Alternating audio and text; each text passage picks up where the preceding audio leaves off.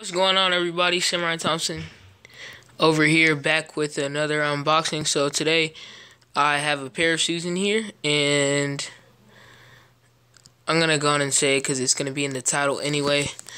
But before I made the title, I uh, made the video of course. So yeah, these are the LeBron Soldier 11s and yeah, let's go ahead and get into it.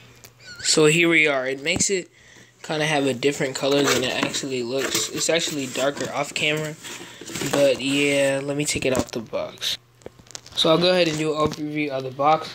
So right on the front of the box, it says LeBron. And this is actually a pretty big box.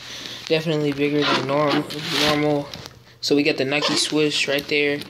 And under the box, there's nothing there except if you flip it over, and that's like the normal stuff that you would see on any pair of LeBrons.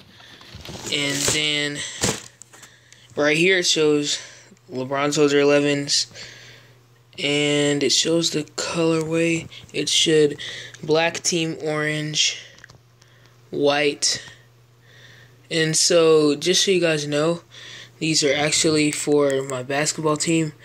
I play AAU for Foundation Basketball Club. So, so yeah, my team actually has an opportunity to play in the Adidas Rising Stars tournament this weekend. So yeah, all right, let's get into it. So definitely, I got the paper. Then we got the shoes right in here.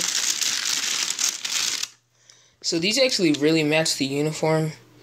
Um, and yeah, these are silky smooth. These came new, not used.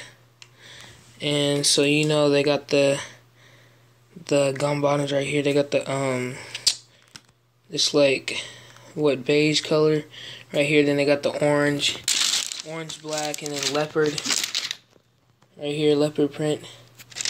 So they they feel kind of hard, but seems like they'd be comfortable. And then they don't have laces; they have straps, so they're easy to put on. And yeah, they're pretty cool shoe overall.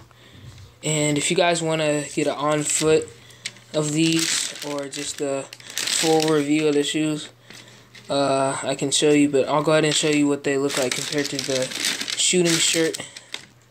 So this is them with the shooting shirt. As you can tell, they look a lot like it. And yeah, so that's pretty much the end of this video. And I'll see you guys later. Peace.